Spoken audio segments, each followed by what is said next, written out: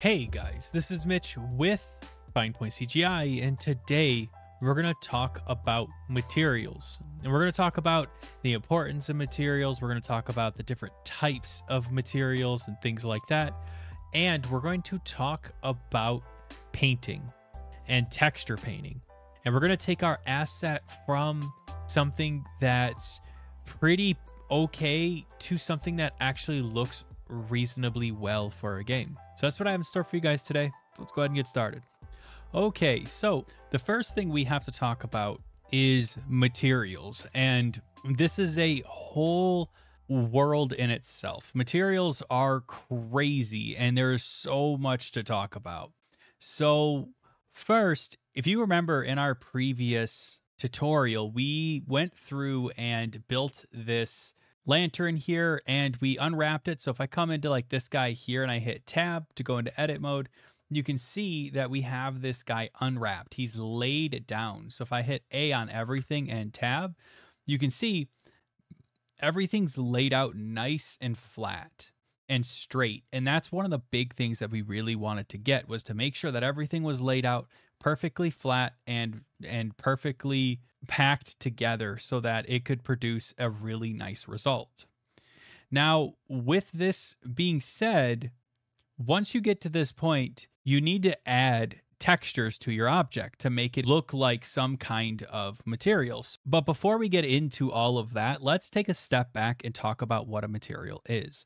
So what I'm going to do is I'm going to hit shift A and I'm going to add in a cube and I'm just going to move this guy over here and we'll talk for a second about what a material is. So if I hit new inside of Blender here, you can see we have this beautiful cube here.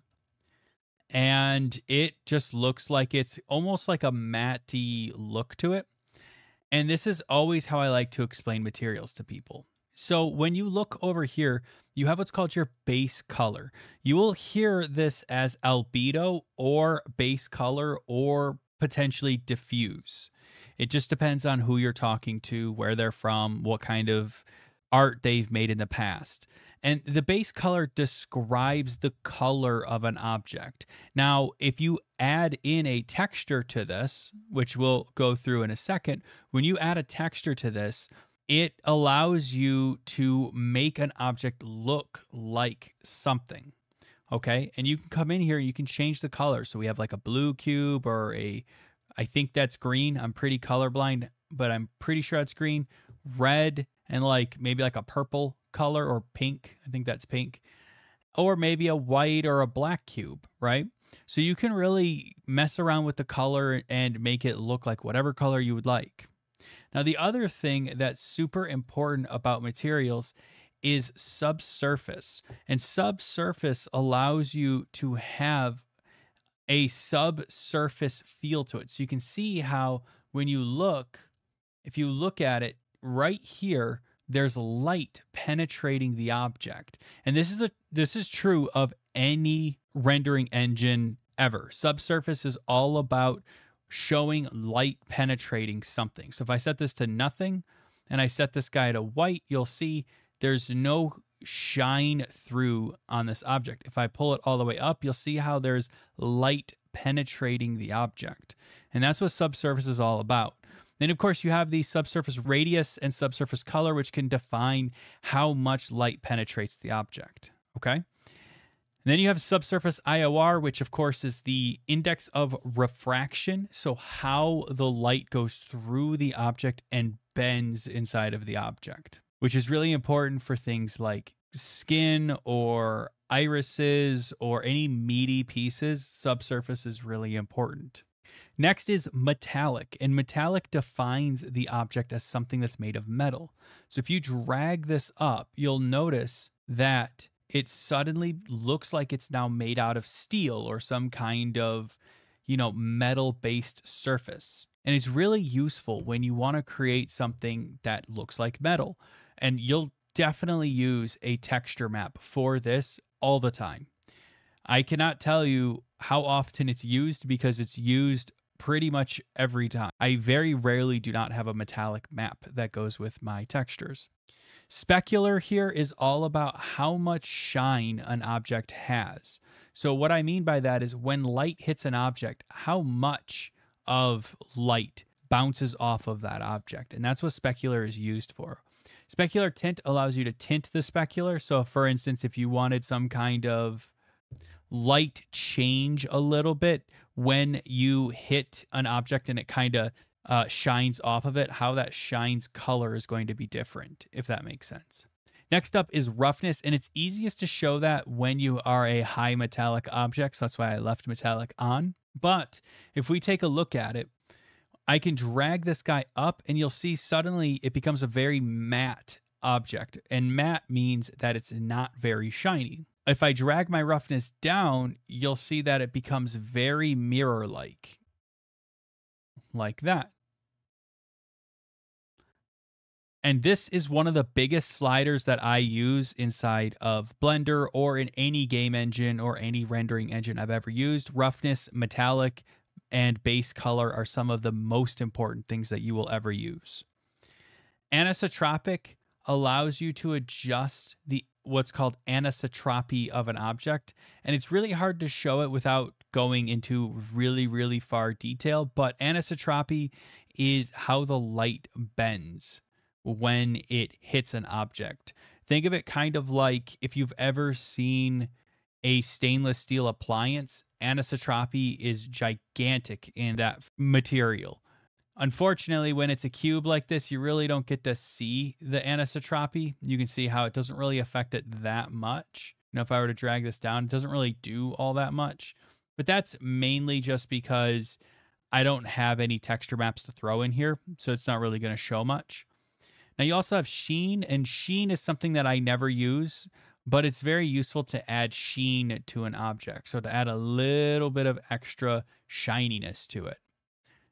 Clear coat allows you to add a clear coat. And what I mean by that is if I hit shift A and I add in a UV sphere like so, and I select this guy and I make it a smooth shaded object, and I come in here and I added a material, I'll show you what sheen does. So if I bring my roughness down on this object, you can see how it's kind of shiny, right? Which makes sense. But if I want to make a porcelain like material, porcelain itself is not shiny. But the clear coat that is on porcelain is extremely shiny. So if you up your roughness like so, so it's more like a porcelainy feel, and then you add a clear coat to it, you'll see that you get that shininess that porcelain has, but you also have that matte feel to it as well. And it's really easy to tell when you kind of do one of these numbers and you look over here, you can see how it's shiny, really, really shiny right here and almost like a mirror effect but it's not because of the actual roughness value. I can set that to fully rough and you can see how there's just a slight amount of shine to this object because it has a clear coat. If I get rid of my clear coat, it goes away. If I add it, it's there.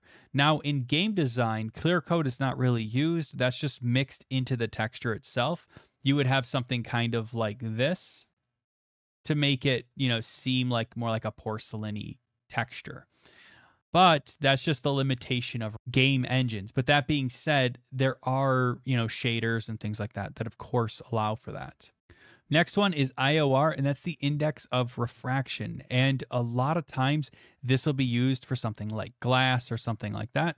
1.45 is the IOR of glass. So if you ever want to see something cool, you can come into here and there is a website called Pixel and Poly, and they have the IOR of a bunch of things.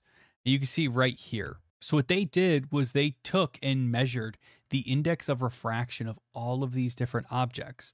So, if you want to have a very accurate looking object, you can come in here and just throw the IOR value into here, and you will get a more accurate object and how it refracts the light. Now, again, this is stuff that we're not really going to use for game design inside of Blender, but it is something that we can use in our own game engine of choice. Transmission is how we handle glass. Now, generally speaking, this doesn't really work too well inside of Eevee, so I don't really use it, but you definitely can use it if you want to. And transmission roughness allows you to kind of create that frosted glass effect, if that makes sense. If we get rid of both of those guys, emission is how much light this object will emit. So you can see when I pull this guy out, he'll start emitting light. And of course, if we up our emission strength, it will emit more light. Now, this doesn't really work inside of Eevee. However, it can be useful for if you're creating characters or something like that, or if you were baking down your material down to an actual um, texture set, emission can be really, really useful for that. Alpha allows you to see right straight through an object, which can be very useful for objects that you may want to cast a shadow or something like that, but you don't want it to render in the actual scene. And then, of course, you have normal, clear coat normal, and tangent, which is very useful. You have your normal map, your clear coat normal map, and your tangent map. Uh, generally speaking, I mostly use normal map, but you know your mileage may vary. Volume is if you're doing any volumetric rendering. Settings is for all of your settings, so blend maps, opaque, hashed, alpha clipping, alpha hashed, and alpha blend. Now, they all have different uses. So, for instance, like alpha blend is really useful if you want to add some transmission to an object. I believe it's alpha blend that allows you to do that or else it's alpha hashed. But one of these guys allows you to do that, which is very, very useful. Opaque is if you don't want to take in any transmission or alpha stuff at all, which can be very useful. Line art is if you want line art and viewport display is so you can see it in your viewport. So if you come into like regular viewport view here, you can adjust how it looks so that way you can actually, you know, just have a different look when you're messing around your scene, which can be very useful. And that's pretty much all of the options inside of this little panel here. Now, if you remember, when we wanted to add, for instance, a diffuse map to this object here, what we did was we came into we select selected on base color and we went to image texture and we chose an image texture. If i go to my downloads and i go to metal and i select this guy we chose a metal something like this and that allowed us to have a nice metal object right? That's really cool and all but there is an easier way. If we come up to the top and we go to shading we can use Blender's node editor to actually build our textures. So this is really cool because it allows us to actually build a material using nodes. And using some stuff we're going to talk about later, you can actually take all of that work and bake it down into a texture that your game engine can use, which can be really, really cool and can save you a lot of trouble. So, this is cool but how do we use it? Well, first, if you click, you'll unselect everything. Second, if you hit middle mouse button and you drag, you will pan around the room. You will pan around that area. And if you click a node and you have it selected, you can drag and you can move it around, which can be really useful. You can also hit the delete key to delete a node if you need to, and you can hit Shift A to add in a node. You're going to be using those key combinations the most middle mouse button, shift A, clicking and dragging, and deleting your stuff. So that's cool. But how do we use it to build a material like we did here? Well, that's really simple. If we zoom in on our cube here and we want to add in a image texture, we can just hit shift A and come to texture, image texture. And there's our image texture. Then we can click open and we can choose our downloads, metal, and then our metal. That's really cool, but how do we connect it to this guy? That's where these little tiny handles come in. So these handles are really useful because they allow us to just click and drag, and we can drag this handle into another handle that is the same color. So if we let go, you'll see that it took effect. It actually grabbed that texture and applied it to the object. So that's cool. So now we can basically just hit Shift A texture, image texture, and then we can hit open and go to wherever it is that we need to go to to get our texture, and we could drag in a metalness texture. We can do the same thing. But you'll notice that metallic is gray and this is yellow. So what does that mean? Well, yellow means we have three channels to it. It's a vector three. It's three separate channels. It has the R, the G, and the B channel. So it has red, green, and blue. So I know your question might be, can you drag this into this? And yes, you can. And you'll see that now it has that metallic look to it.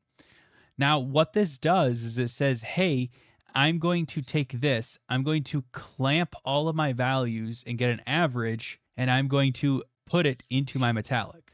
And this is extremely useful because it allows you to basically say, hey, I'm going to take this. I don't care if it doesn't keep all the information as long as it keeps the grayscale information, and I'm just going to put it in here. Now, this hitting Shift A texture, image texture is really, really slow. And I'm not sure about you, but you know, a lot of times I like to try to get things done really fast. So, is there a faster way to import stuff into our graph editor here? And yes, there is. If we go out to our downloads and we go into our metal, which that's not the correct metal, if we go into our metal and then we come up to our roughness map and we just drag it in to Blender, it will automatically drop it in, which is really cool. So we can do the same thing with our normal map as well. We can drag our roughness map down and we can just drag it into our roughness channel. And you'll notice that suddenly it's starting to look like metal. Now, it's not quite perfect because that is really shiny. And if we look at our reference photo, this is what it should look like but it doesn't. It looks extremely shiny. So let's see if our normal map will solve that.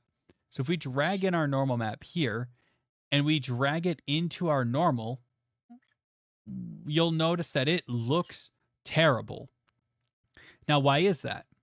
Well, if you notice that this is a blue color, not a gray color or a yellow color. And blue means it has to have a special input, and that is a normal input.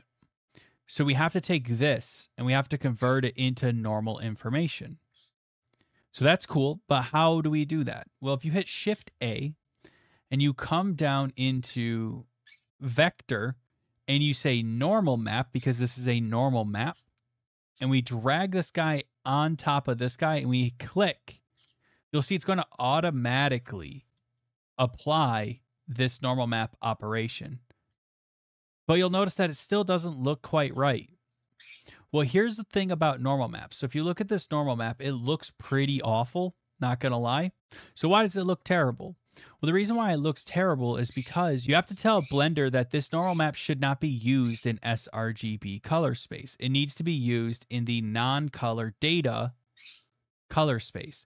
And if you do that, you'll notice that your normal map completely changed. If we take off our roughness map, because we're going to have to come back to that in a second, you'll notice that if I come in here and I really crank my normal map strength up like that, and I change this to sRGB, you'll see you have this weird shininess about it, right? But if we go from sRGB to non-color data, you'll notice that that shininess goes away and everything looks just a little bit better. The reason why we want to use non color data is because when you bring something in with color data, with sRGB, Blender tries its best to gamma correct it. And that's useful for some textures, but not for all textures. And you want to be careful when you bring them in because it can make your stuff look terrible if you don't switch them to non-colored data. Because Blender is going to gamma correct it, it's going to make it not be exactly the way that the original person intended for that normal map to work. So it makes everything look kind of funky. And that's just something to keep in mind. And the same goes, technically speaking, for roughness and metallic. If we drag our roughness back in, you'll see that it is super duper duper shiny. But if we come in here and we change this to non-color data, you'll see it still looks pretty shiny, but it looks more like how it should. And we should probably back this normal map down to something like one, so that way you guys can kind of see what it looks like. You see, with sRGB, it looks like that. And with non-color data, it looks like that. And the reason why is because Blender is trying to gamma correct this image and it's trying to make it look more accurate based off of the rendering engine itself. So if you were to take this image and bring it into the rendering engine and like light it and make it look cool, like a picture on a wall, sRGB would make sense, especially if you're using sRGB as your gamma correction system. But it doesn't work really well when you're defining a texture's values. Now, you do want sRGB for your color value because it needs that gamma correction. If you do it as non color data, it'll look like this, like a nasty gray color. And we don't want that, right? We want it to look true to life. So we'll use sRGB to help gamma correct it so that way it's lit properly. But you'll see if we do the same thing with metalness and we go to non-color, you'll see now it looks like it's made of metal. And now it looks like a metal cube. Now, I know what one of your questions might be, and that is well, what is a roughness map? Well, a roughness map is a gray map that defines how shiny something is. It's from a zero being super smooth to white, which means super rough, very rough, and not shiny at all. And that's how we can tell our materials to look like something like metal or wood or something like that is by using different patterns of gray. We can say this part of this material is this much roughness. And that translates directly to if you look at this object, where there are dark spots, there are little patterns of roughness. And you can see where this is. All throughout this section here, you can see there's little lines throughout this. And if you look at this, you can see if you look at it at an angle, right here is just a little bit rougher than right here. And that's how we can determine that this is the material that it is. And same thing goes with metallic. You can see how we have little speckles of not metallicness and they you can tell in here there's little tiny speckles of things that are not metallic in here to make it look more realistic and to make it not look so uniform. If we were to get rid of our metallic and our roughness material pieces, you can see how that looks. So if I bring roughness down, that's how it would look. If I drag my roughness in, like so, you can see how it adds just a bunch more depth to the tech material. And if I drag metallic in, you can see it adds even more depth to that material. So that's really cool. But why do we have this graph editor? What's the point of it? Is it actually useful to us? does it give us any benefit over top of using this sec this little panel here? And the quick answer is yes. And I'll explain how. So if we come over to our lantern here, and I hit the tilde key and I go to view selected to kind of center my viewport. If we come in here and we select everything by clicking and dragging like so, and then we hit shift and click and then delete these guys, and we come in here and we add in these textures once again. So color, metalness, normal, and roughness. And then we come in here and we drag in our color. We drag in our roughness. We drag in our normal map into our normal map. And then we drag in our metallic like so. Now we have ourselves a metal looking lantern, right? And it looks pretty okay. There are some spots in here that I don't necessarily like, but it doesn't look too shabby. Now, this is really cool, but one of our big things about our game is that our lantern is not perfect. It has rust, right? It has things that makes it not perfect and not out of cast iron like this. So, how can we make this look like it has some rust on it? Well, that's where a rust texture set comes in. You can see right here, I have a rust texture set. Now, if we just come up here and we drag in this color, we drag in this metalness, we drag in the normal map and the roughness map like this, and we come in and we just say, okay, this is non-color data, this is non-color data, and the metalness is non-color data. If we just drag in our color and bring it into our base color, you'll see that now it looks like it's made out of copper or out of some kind of brass or something, right? But that's not what rust looks like. And we can't just take this guy and drop it in, right? We can't just pass in our normal map like this because it doesn't really do anything for us. So, how can we make this work for us? Well, that's where mixing materials comes in. So, what does mixing a material mean? Well, what you can do inside of Blender is you can mix different maps with other maps. And what that means is you can hit Shift A and you can come in here and go into color mix RGB and you can put this guy in like this. What this is going to do is it's going to mix color one and color two by whatever this factor is. So if we come in here and I drag this factor down, you'll see that it looks like it's made out of the cast iron material.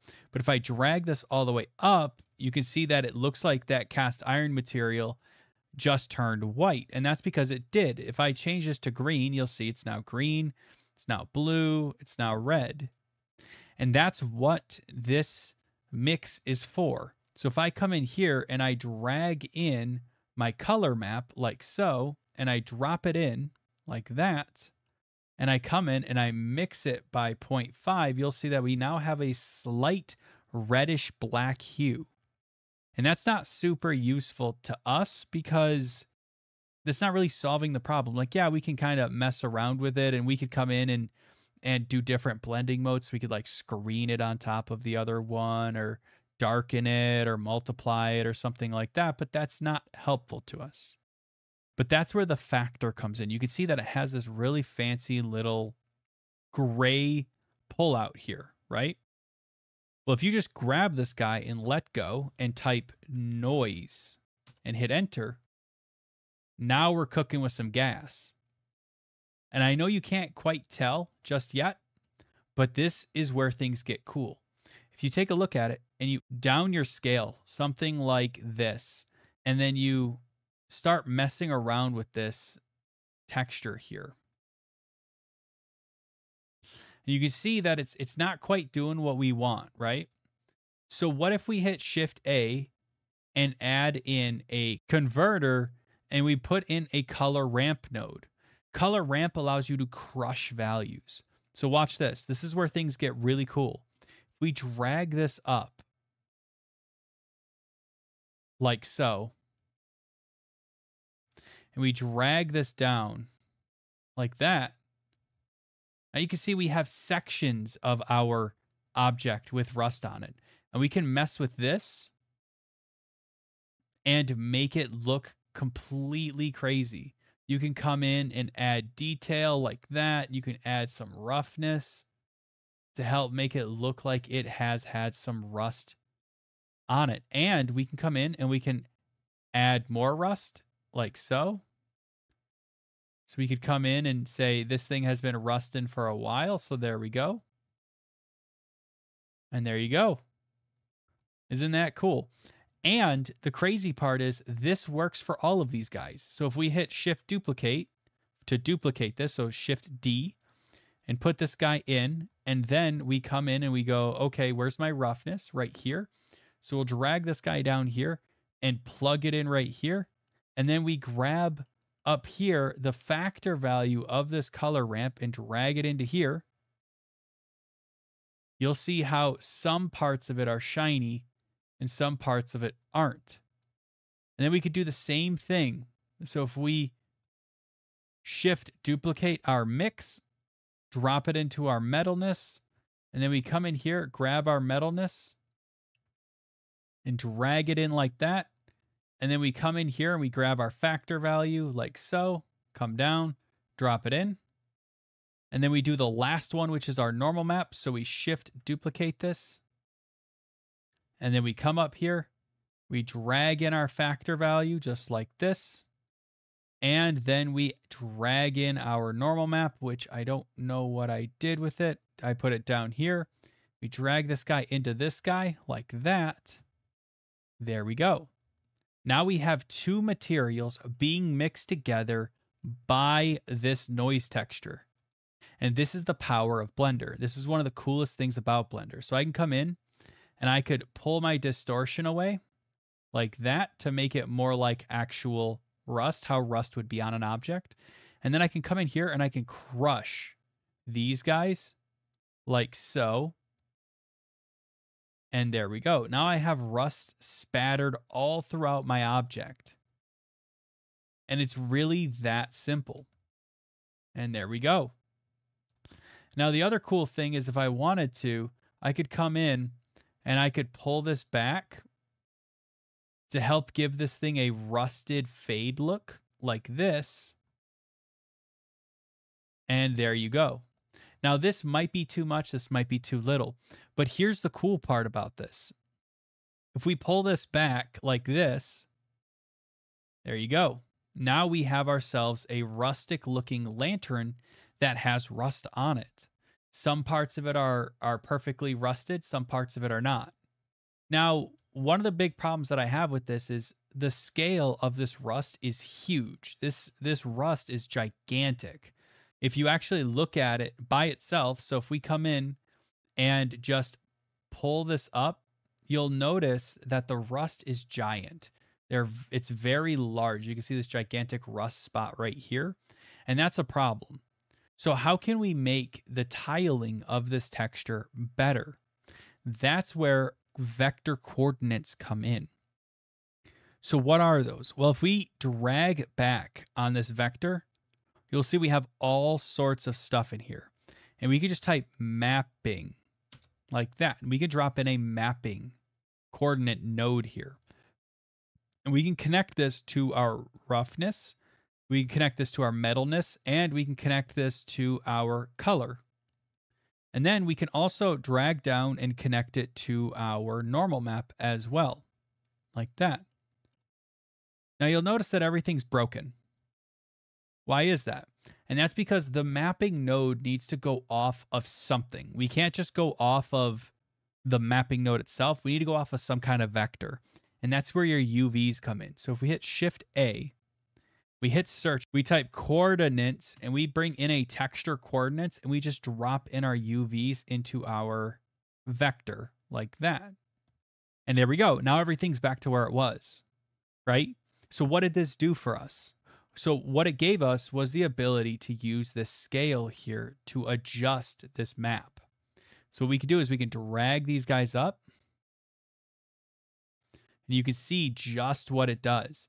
So if we drag this up to something like 10 and we drag this something up to about 10, like so, that's a lot more like what we were expecting it to be, right? That's about right for Rust size, especially if we come in here, we go into our texture, we pull this guy up like this to give ourselves a little bit more of that metallic shine through. Like that. And now we got ourselves a nice, decrepit looking lantern. And it's really that simple. And the craziest part is it's not just one material we can do this to. We could technically add in as many textures as we want and make it look however we want. We can just drag stuff in and it'll just work for us, which is awesome. And it can save us a bunch of work when we're doing our texturing. We can come in and just generate out how our texture is going to lay in and then come in and clean it up and make it look better. Now, I'll show you guys how to do that in a moment, but just know that this is super powerful. You can do so much to, with it. If you come in here, you can actually come in here and let's grab a metal and grab in this displacement texture, right? We could drag this guy in here and drop it. And you'll see that if we change this to non-color data, now it's going off of this displacement texture. It's the coolest stuff in the world. If you start playing around with it, you'll you'll notice just how cool it actually is. They basically we can take this displacement texture, throw it on here, and it will have sections where it has more rust than other places. Or we can drag this in and just use our noise texture. It's up to you guys. You guys can do whatever you want. The world's kind of your oyster when it comes to this specific texturing method. I've always enjoyed this method because you can get a lot of really cool looking materials in a few seconds if you know what you're doing inside of Blender. So this is cool. And that basically describes what this is. Now, there is one other way to do this that's a lot simpler than what I have here. So if you take a look at all these guys, they're mixing in by each texture to a single shader node. But shaders in Blender are malleable, much like materials are in other applications. Shaders are extremely malleable. So you can actually do operations over here on the right side of this shader and have it apply to this material material output. So what does that actually mean though? Well, that means that you can duplicate this shader here, like so. You can hit Shift A and add in a mix shader node and drag this shader in and then drag this shader in like this. And then you can just connect these guys like so. And now you're mixing two shaders together based off of a factor value. So you can come in here and drag this and you can see the two shaders being mixed. So what does that mean for us? Well, if we just drag our color ramp into our factor value, you'll see that we have one half of a shader and another half of a shader connected and being mixed down into an actual material. So we can basically just come in here and say, okay, I want my rust color to be up here. I want my rust metalness to be up here as well. And I want my rust roughness up here. Like that. And finally, I want my Rust normal. So I'll have to duplicate this normal map and I'll have to connect it to this like that. And then drag this guy all the way up here and throw it in like that. And then we can basically just come in here and say, okay, we know that all of our stuff's being mixed. So I'm just going to say metal like that. And I'm going to delete this. And then roughness like that. And then I can delete my mix and then my normal map like that. And I can delete my mix. And then I have one more mix, which I'll just grab and drag it up for my metallic and then delete that. And now I have the exact same result. The difference is, is that it can be a lot cleaner. And what I mean by that is if I grab all of these guys and I drag them up, so let's just select all these guys. Let's drag them up here like that. I can put my texture and my material up like this. And I can put my little noise texture right over here. And now everything's a little bit more organized and a little bit easier to work with. And that's kind of the goal here is just to make things a bit simpler and more organized for us to use. So that's just something to keep in mind. It will help a lot with your material management if you just start mixing materials over here on the back end. Now, what if I want some more control? Because right now we're basically just projecting this material on it and we don't really have a lot of control. Well, that's where texture painting comes in. And one of the coolest things about Blender is it is a packaged deal. It does everything inside of this tool. So, what I mean by that is we can come in and actually paint our stuff where we want it instead of just throwing it onto our material. But before we do that, let me copy and paste this real quick. Something's bothering me real quick. I'm going to grab these guys, control duplicate. And I'm going to drag these guys down. And I'm just going to drag these into this vector like so. And the reason why is because the um, scale of this object metal material is not as good as I'd like it to be.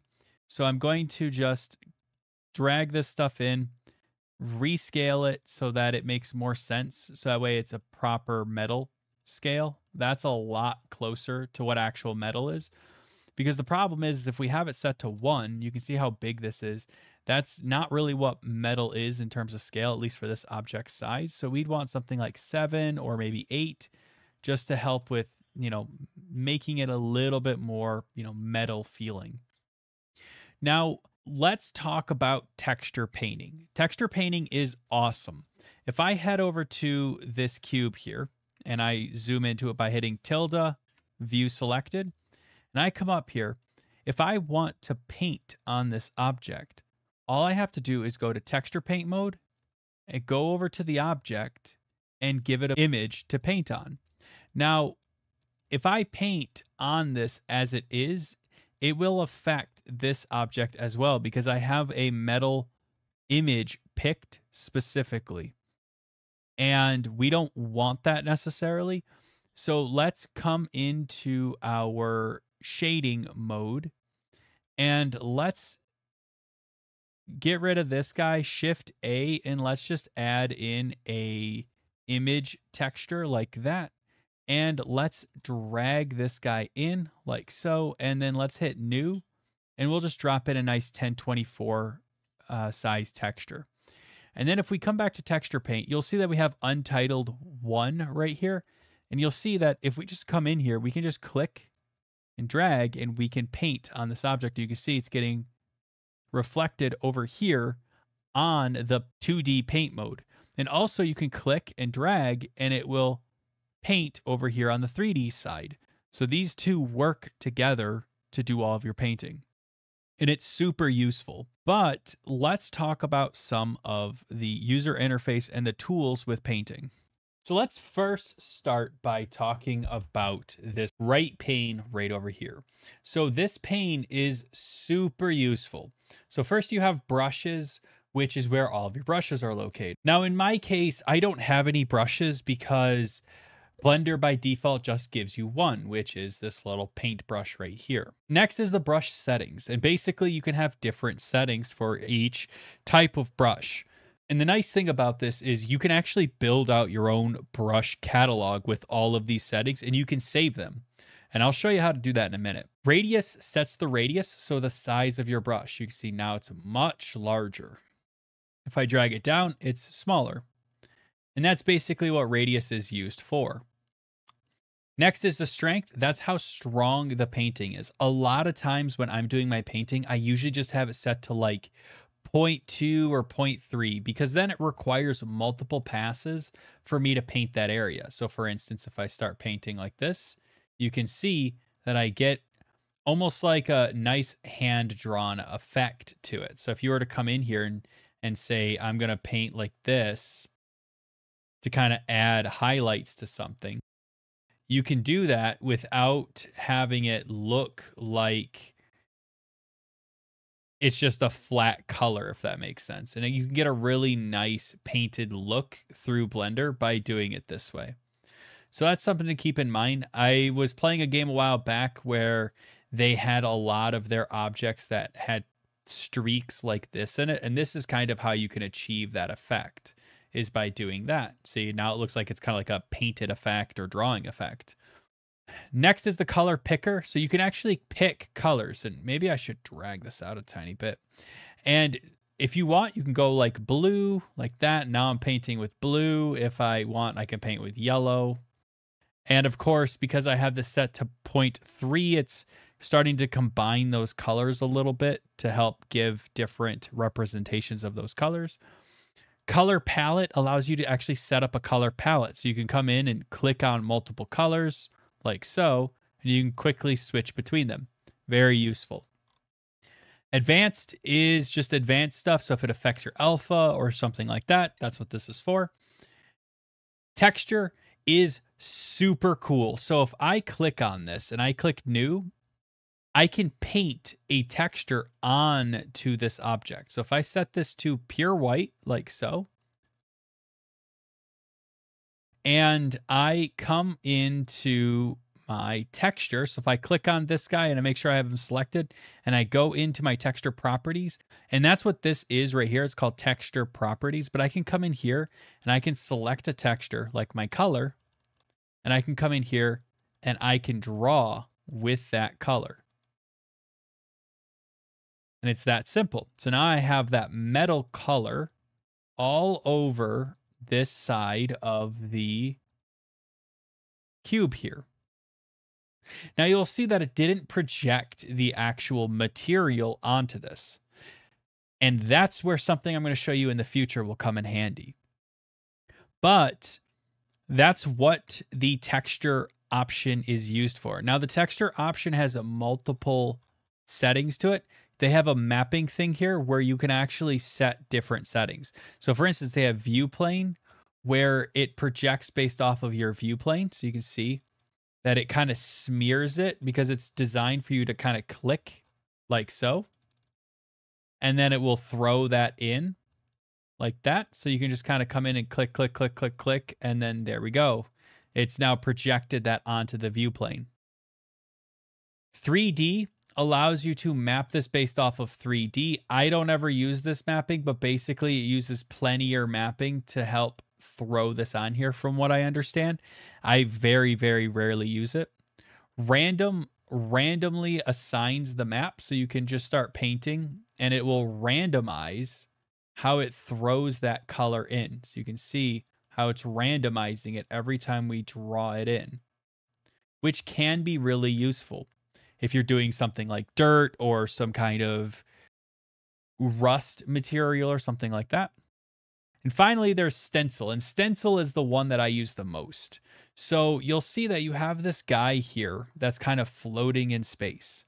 And what this does is it allows you to draw on a mesh based off of where this is placed. So if I kind of come in here and I click and I draw, and let me set this to one so I can show you guys how this works.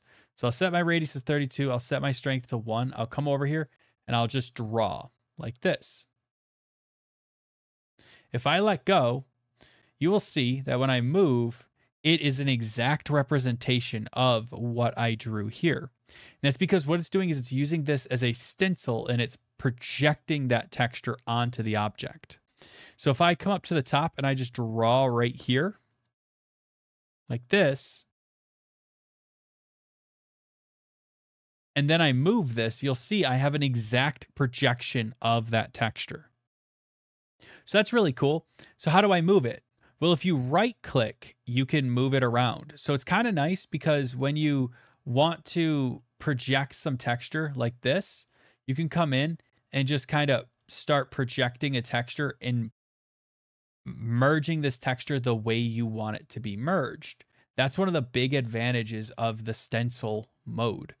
You can also hit control and right mouse button to rotate it and shift to scale it.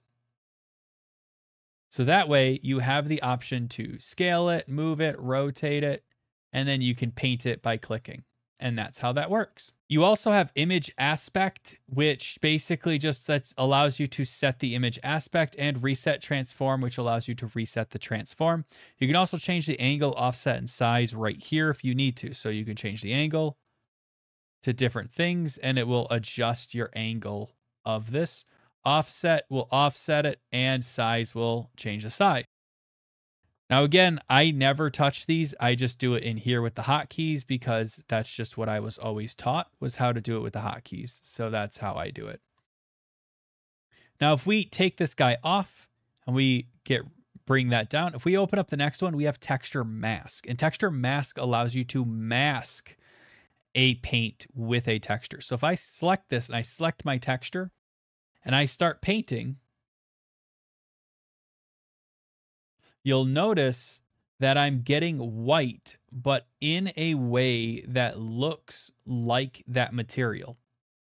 And the reason why is because it is using this as a gray scale texture to project this color onto it. So it's really useful if you want to get a nice pattern, but in a specific color. So for instance, if I go with blue, there you go. So because this is lighter than this is, these bottom parts here get filled in more than these top parts because it's darker, so it gets filled in. And of course, all of the different mask mapping stuff works just like it does for texture. These two combined are super useful. So I'm going to get rid of that real quick. Next up is stroke, and stroke is about how your stroke is set. And this is something you're going to change a lot, especially if you do a lot of painting. So if you come in here, you can see you can stroke. If you go in here and you go to dots and I draw, you'll see that it is slightly different in how it paints. If I click space, you'll see that it paints slightly different as well. If I come in here and I set this to like 137, there you go. You can see kind of how it works. Whereas if I do dots, it paints it in as like dots. And if I set the jitter to something really high, you'll see how it's kind of throwing these dots everywhere like that. So that's kind of what dots are for. Drag dots, same thing. It's only when you drag and let go does it drop that color. So you can see when I click, I can drag it and let go. This is really nice if you want to drag stuff like rivets onto a machine or something like that, this is really useful for that. You can just drag and drop them in. It's really simple. Airbrush works like an airbrush. So you can see when I, providing that I don't have my jitter so high, if I drag that down, it works kind of like an airbrush would. Anchored anchors it line draws it in a straight line. So if I drag this over and I adjust my spacing down to something like 0.6 or so, and I drag, let's make this pink. I click drag, you can see it draws a line. Curve does the same thing, but for curves. So you can click, click, and click, and then draw out a curve, and it will paint it as well. Fall off is how we do our fall off. So if I come into my stroke and I change this to dots, which is basically what I usually have my thing set to because it's just a nice paint, big old splotchy paint. But if I go to fall off and I come in here, I can drag this down like this and you'll notice that it's a lot softer to work with. So this could be nice when you want to change how your stuff feathers. So you can see if I come in here now, it put a gigantic circle instead because of how it's feathered off like that. So that's something to keep in mind. It's really nice and useful. So you can actually just come in here and really adjust your stuff. So you can see if I do something like this. And I change this to blue, let's say. Now I've got perfect round wavy circles on my object. And that's kind of what this is used for is that you can change how it falls off and how it works. Now I'm going to reset this to here and they have a bunch of presets here that are really useful for various things. The normal one is this one, so you guys can use that. Normal fall off is how it determines if it's going to paint something based off of the normal. Cursor talks about the cursor itself. So that's nice. You could change it like blue, and you can see it's blue. You could change it to be white, which was what it was, so it'd be white. That's pretty much how that works. Now, if we come down to masking, you also have a lot of masking. And I don't really want to go too far into masking, but basically, you can mask based off of cavities, you can mask based off of stencils, and things like that. And it's really nice and super useful. The cavity one, especially, because you can come in and say, I only want to paint ridges and not valleys. So if you want to paint like redness in someone's face and you don't want it to get into the pores, then you can do that with the cavity mask. It's really nice and super useful to use. Symmetry allows you to have symmetry. So if I come over here and I give it X symmetry, you can see if I change this to white, because I don't think we have any white here, I now have symmetry. So I can draw a heart, just like that. Very simple. That's kind of a bad heart, but you get what I'm trying to do. There we go. And symmetry is very useful for having symmetrical stuff. And you can do the same thing with y axes, of course, and just kind of drag this up. And now you have that Y symmetrical thing. So you could do stuff like torus knots and things like that really, really easily. Options are some last minute options. You guys can check those out, but they're really cool. And workspace is all of your workspace stuff. Most of this is stuff that you're never going to use, but it's nice to have. So that's pretty much all of this stuff. Now over here, we have some other tools. So if we click on this, you can see we have a soften. And you can see we have a bunch of options here. A lot of them are pretty much the same. Mostly what you would, you know, mess with are these guys right here, which is sharpen, soften, and how we're softening it. If you drag your radius up and you just start softening, you'll see that it starts blurring this stuff. It's softening it. It's blurring it together. If you were to click on this guy, this is smear. If you drag, you can see it smearing it. Well, I guess technically I should go like this to make it smaller. It'll make it a little easier to see. You can see I'm smearing it as if I'm dragging my finger on it. And then the clone brush, which allows you to hit control click and then allows you to clone. Now I have symmetry on, so let's shut that off real quick. And let me just select this guy right here with control click. And then if I start drawing, you'll see that it's cloning this object. And if I come into my stroke I think that will work. So if I click and I drag, you can see it's cloning this bit here, which is nice and very useful. And then you have fill, which if you just click, it fills it with whatever color you want. And that's pretty much how that works. And then you have masking, and masking allows you to mask stuff out from your stencils. And I generally don't use it, but it's nice to have. So this is all cool but how does it relate to our lantern here? Well, let me show you. So if we come over to our lantern and I get out of texture paint mode and I go into shading mode and I come over here and I select my lantern and I come into its shader here. And instead of doing a noise texture, with a color ramp, let's drag this out. Let's hit click and drag. And let's hit G to move it. And then let's hit Shift A and add in an image texture. Now let's drag that into our factor value. Now let's click new and let's make it a 2048 by 2048. And let's just call it rust slash iron mix. And let's make it black by default. Let's hit OK. Now you'll see that it's all rust, which is cool, but not quite what we're looking for, right? Well, here's where it gets cool. So if we go into texture paint mode, and it's going to take a minute. If we come in here, you can see we have our object. Let me view selected. That'll get us nice and close. You can see we have our object here. Now, here's where things get cool. If we go to material mode, we have our material. If we come over to our fill, and let's fill this with white. So if we head over to our tools, let's click on rust iron mix and let's fill it with white. Now you'll see that we have our iron. Now you could probably guess where we're going with this. If I go to draw, I can come in here and paint black with a low strength value.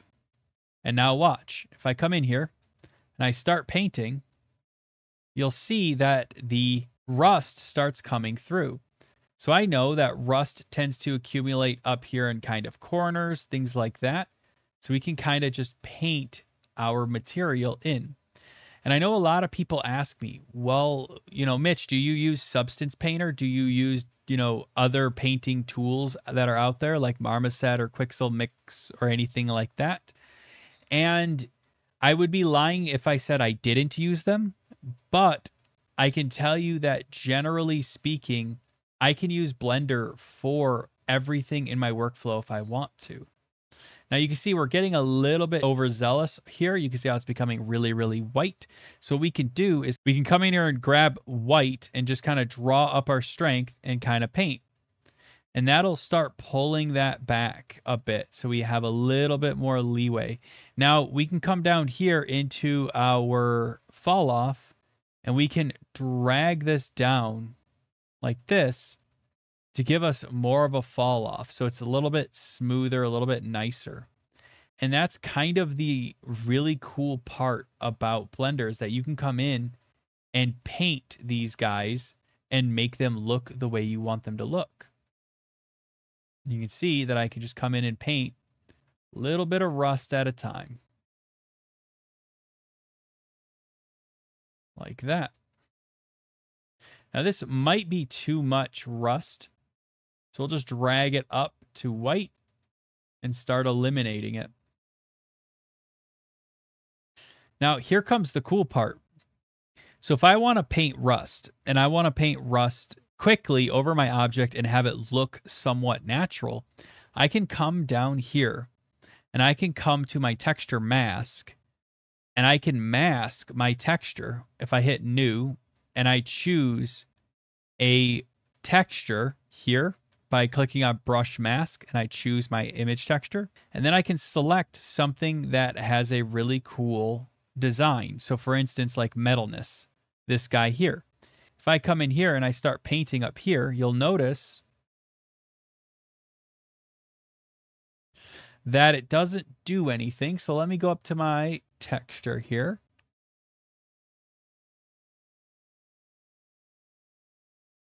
It might not be a strong enough color, so let me try painting with black. There we go. That's a bit stronger. So we'll paint this whole section here, providing that Blender wants to cooperate. Now, one of the things that I tell you is a lot of times things get really, really slow. So what you can do to help with that is if you come into your modifiers and just start shutting them off, that will help a lot with performance. So if we come in here and click on these little monitors, it'll shut off all of those modifiers and you'll see that suddenly we have a much simpler object. And we can come in and just start painting and you can see that it that it took it. But you can see that's a lot more what we're looking for. It's more handmade. We can pick where we want our rust to be. That's probably too much. So let's come into here Let's go into our rust iron mix. Let's drag this up to kind of like a medium gray, maybe a bit higher. It's probably still too much. So let's paint white to try to bring this down.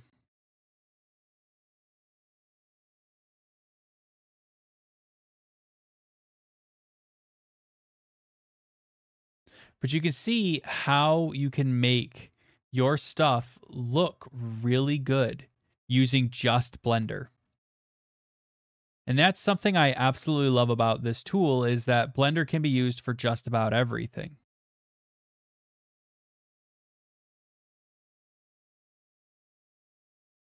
Now, the other cool part is if I want to just come in here, I can. So I can come in here and just start painting like this, which is always faster for me because I could just come in here and paint them up like this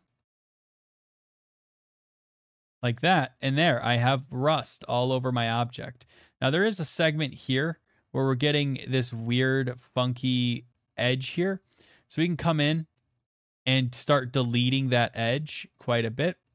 You can see how easy it is to actually make our material look way better than what it did.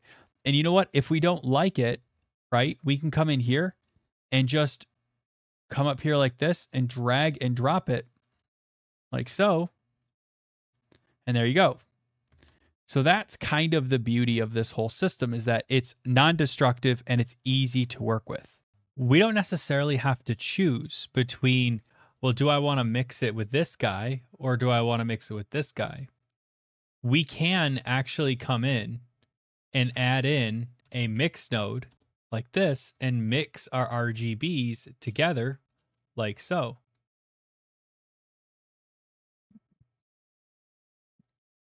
And you'll see that now we get some of one and some of the other. We can come in and fade through them and get different looks based off of what we want.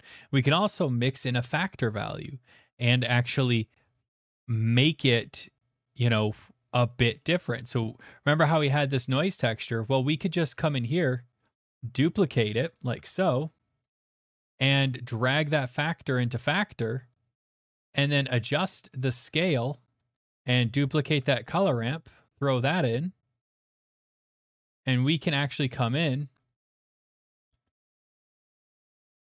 and mess with this to blend the two if we want to. So you're not stuck with exactly one way of doing things. You can combine and mix and match and stuff like that. To make this look really good, it would take a very long time and lots of painting to do it. So don't get discouraged if you just do it for a little bit and then it just doesn't look good or it's not coming out the way you like. Like for instance, this is not it's not great. It's not bad, but it's not great. Right? So a lot of times in my experience, I just go in and I just reset it and I just try again and I keep trying until I get something that I like. And remember, you are not required to use one material. If we take a look at ambient CG, you can see here, if we type in metal, we have hundreds of options of different types of metal. So don't get discouraged and just pick a metal that you think is cool, mess with it, and then if it doesn't work, just throw it away and try again. So I'm going to mess around with this for a little bit and I'm going to try to make this into an asset that's, you know, truly something special. And then in the next video, what we'll do is we'll come in and we will learn about performance. But for right now, I will be right back.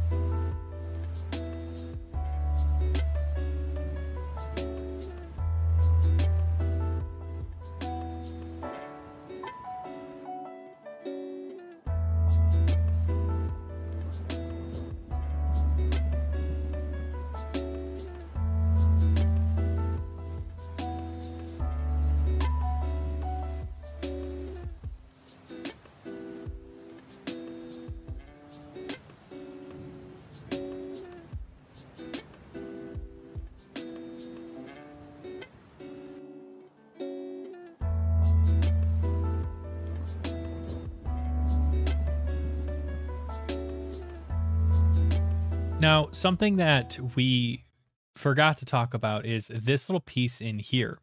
Now, these little pieces generally are made of something like a brushed aluminum or something like that.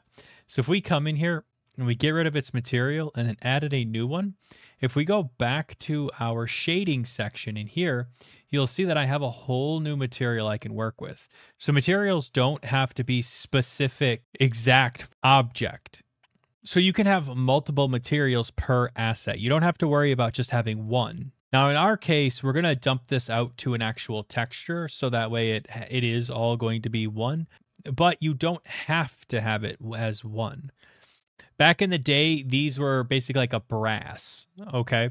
Now, thankfully, Ambient CG probably has some kind of brass material. So we could probably pull a patina brass, something like this guy here and we'll just pull down the JPEGs because it really doesn't matter if I lose a little bit of detail. I don't think it's that going to be that big of a deal. So I'm going to extract this guy like so, and I'll just drag this in like this. There we go.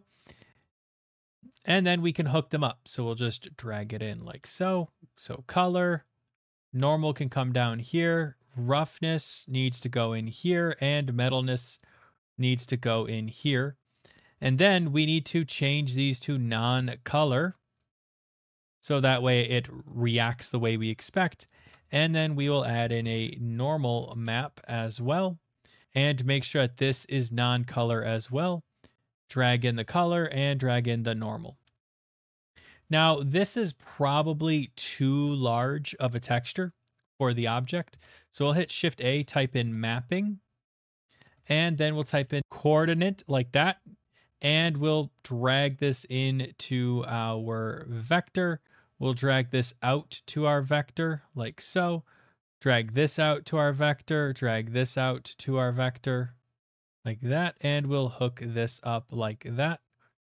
Then we'll zoom in like this and we'll put this at like a 10 or something like that. And you can see that that's looking really nice. Now, if we Google old oil wick handle or holder, I should say, you'll see that we have things like this. So it's more of like a brownish color, if that makes sense. So for us to do something like that, that would require us to change the color of this to be more brownishy and we're, we would want it to lose some of its luster, right? We'd want it to be less as shiny. Now we might want to make this 20. That's probably more accurate.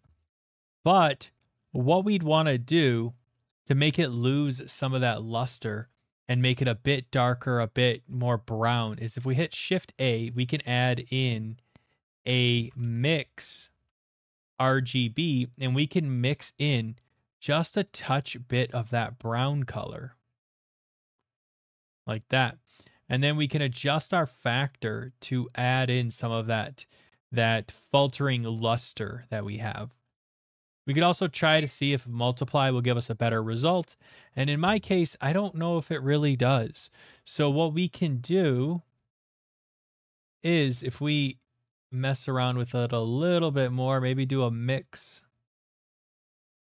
like that. Now it loses some of its luster, so let's hit Shift A and let's add in a color ramp and we'll drop that in. And if we pull this back, you'll see that it starts pulling back that luster. Now, we could do this, or the cool thing is, is when we select these guys, you can see how we can drag them, right? We can also select this and change its color. So we could pull this back and drag this down, and you'll see how it becomes shinier, right? So if we do the other side, if we click and we drag this up, you'll see how it starts losing its luster without us needing to adjust anything. So we could pull this back to something like that, and there we go.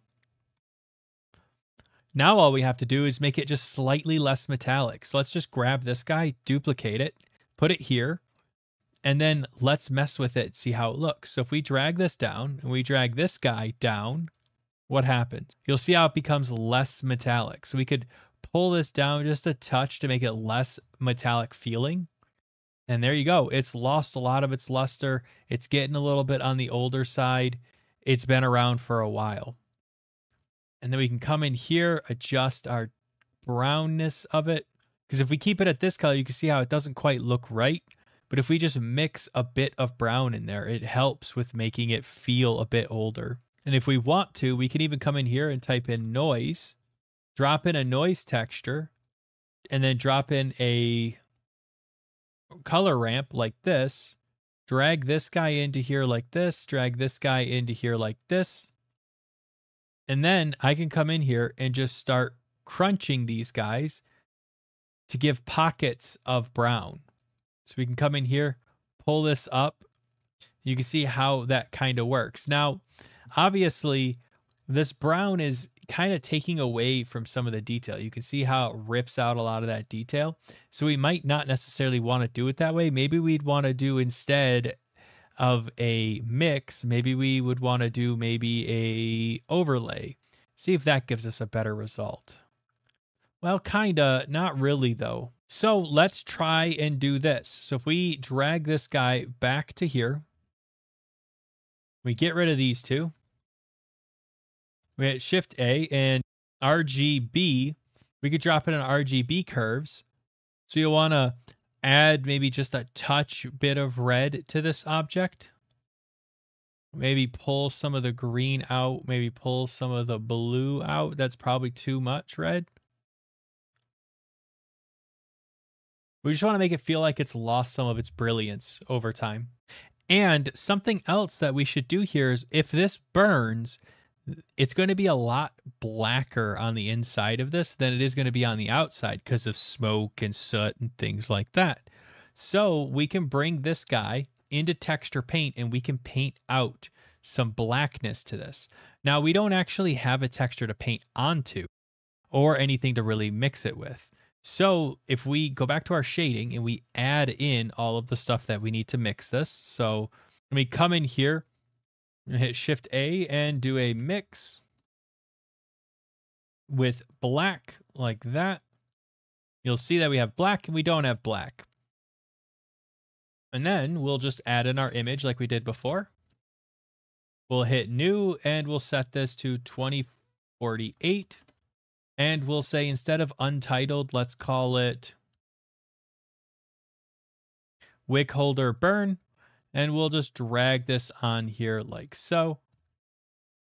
And then we can come into our texture paint and we can paint this wick holder burn. We can come in here. We can try to paint this up real nice.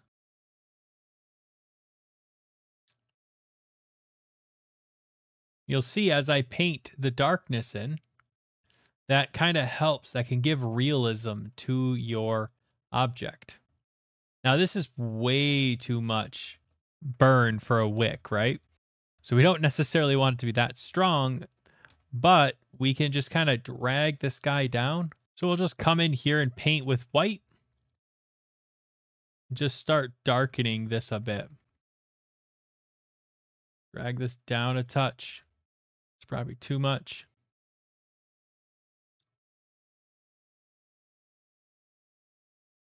And we'll drag this up.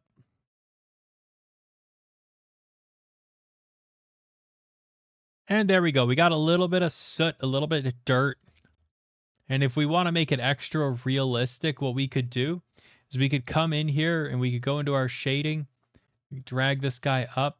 We could just duplicate this to our roughness and our metallic. And then we can mix this with, in metallic's case, black because we don't want it to be metallic, and roughness, we can mix it with white because we'd want it to be rough. We can drag this down like so, put it into the factor value, drag this down, put it into the factor value, and you'll see what that does to it. So this now is very mad because it's been, you know, soot has built up on it and has made it darker. We can come back to our texture painting, mess around with it a bit more.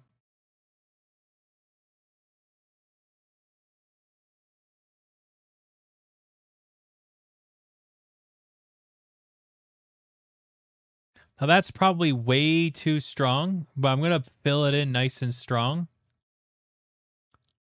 first, and then we'll back it off in a moment. And we'll drag this down like so. We'll drag our strength back to something like 0.14.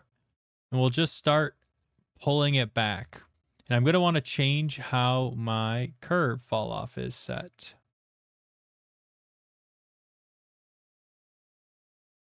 So I'm going to work my way around the edges to help smoothen it out.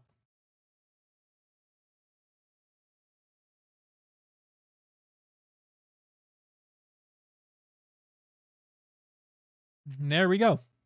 That gives us a nice burned look to it.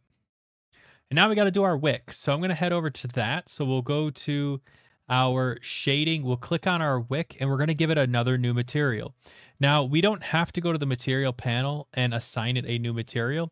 We can just do it right here if we want to. We can just come in here, click the X, click new, and we're going to need to find a cotton wick. So thankfully, I think ambient CG can come in handy for us again.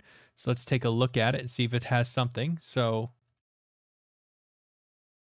if we look up fabric, I don't know if you guys have ever seen a cotton wick before, but a cotton wick looks something like this, give or take. So it's a woven fabric of sorts that basically is woven together. And then a lot of times they have these little lines through it. It doesn't have to have that, but a lot of times they do. So if we can find a woven fabric like that, that would be perfect. Now, looking at this, they do have this, which is close-ish, and they do have this, which is also close. So I feel like this will work well. So we'll just grab this one.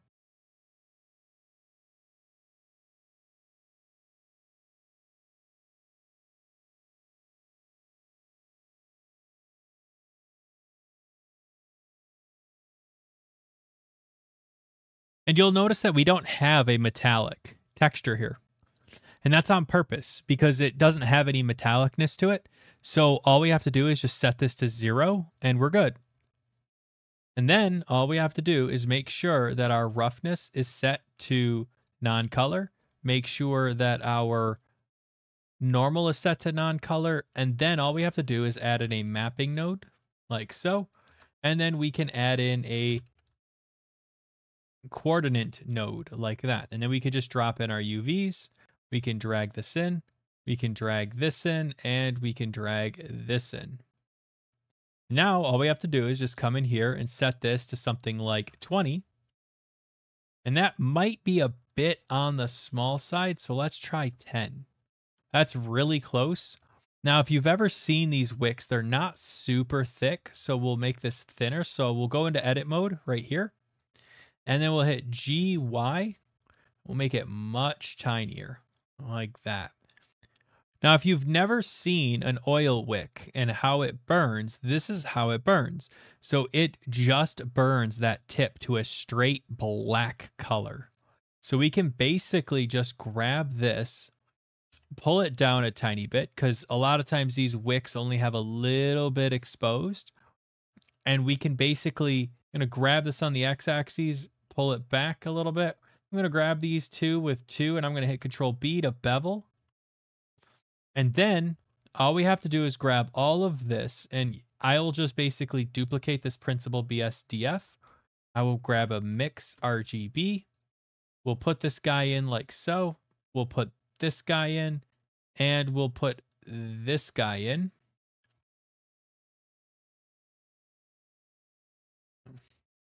We'll put in a mix shader and I will drag this guy into the top, this guy into the bottom, and then I'll drag this guy into the surface. And you'll see that it's being mixed with white, right? So if we go to zero, it's black or white. If not, it's the texture. And all we have to do is say high roughness, pretty much black, as black as we can get it. And then we can just hit Shift A, image, new, Okay, and drag this in. And now we can just go into our texture paint and let's clean this up. So first we'll come in. I'll set a texture map. So texture mask. So that way we have some kind of mask. And we know that the top needs to pretty much stay black. So what we can do is just come in here, drag this over. and make this black, or I guess white.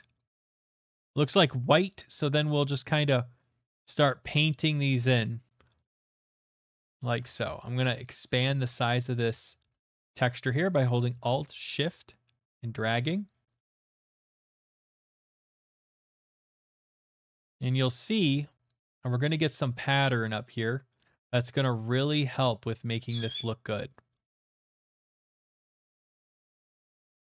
And I'm going to increase the strength of this brush by quite a bit.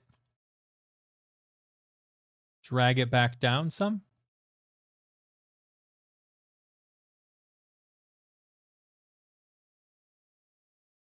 And drag it down.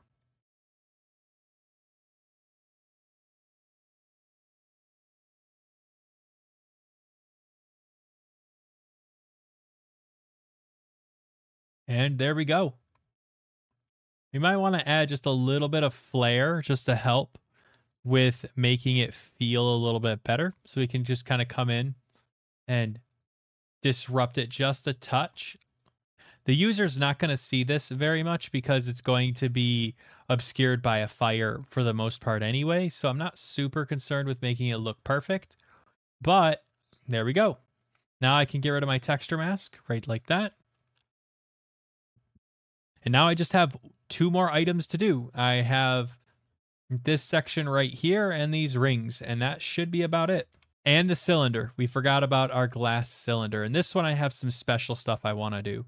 I'm going to come into these guys, select both of them, go into texture paint mode on them. So object, go into the texture painting, and I will set it to, I believe, white. So we'll paint this all as white because I'm okay with it having no rust, except for I do want a touch bit of rust in a specific spot, and I'll show you and I'll explain why in a moment. So I'm going to come in here and I will grab the texture mask. I'm going to drag this down and we're going to paint rust right here where the two joints kind of show up, where they, they connect. And the reason why is because when two joints connect, they rust a lot faster than if they are separate. And it will add some needed variation within our object. And there we go. I think that will do it. And now all we got to do is go back to object mode like so, select our other rings, go back to paint mode, and the coolest part about this is since these are all linked, it should be a five second process of just coming in here, filling it with white like so, and then adding some rust right here. So we'll just come up here, add just a little bit of rust right here. Maybe a touch bit of rust on our way down, and then quite a bit of rust down here. if we go to texture paint object mode, there we go. Now it's time for the last object before we call it for the day. So this is our glass. And if we tab into edit mode, you can see that our glass covers this whole section here, which is great. Now, what I want to do is I want to make it so that it's just slightly not transparent or it's just slightly not reflective. So what we'll do is we'll come into our shading like that, and we'll zoom out and you'll see that we have this object here, material here, and you'll see that we have our alpha of 0.03. And if you remember, if we have it any farther than that, you'll see that it's perfectly invisible. So we want it to 0.03 or some low value. Now, there are some things that other game engines don't care about, but we can get there when we get there. So we'll just hit Shift A, add an image texture like so. We'll drag this into our roughness and into our alpha. We'll create new and we'll just add in a black texture. Now you'll see it's perfectly invisible. So what we'll do is we'll come into texture paint because we have an additional texture here. And what we can do is just come in with our stencil here and paint. Now, first, I will fill this with a fill tool and I will drag this all the way down to just barely visible. And you can see, there you go. So now you can actually see what it looks like, right? It's back to where it was. But if we click on this and we drag this up and we set this to a light strength, something very tiny, we just start painting. You'll see what it does once I'm done, and you will, absolutely love it. So if we hit shift and make it a little smaller,